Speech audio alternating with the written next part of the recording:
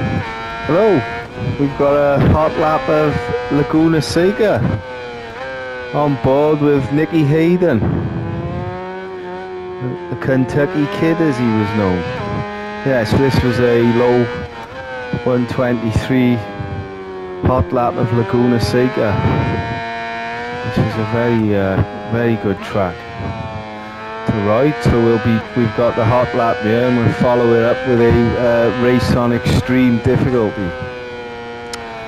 Of course, this was the venue of his first MotoGP win back in 2005 and then he went on a year later to win the uh, MotoGP World Title.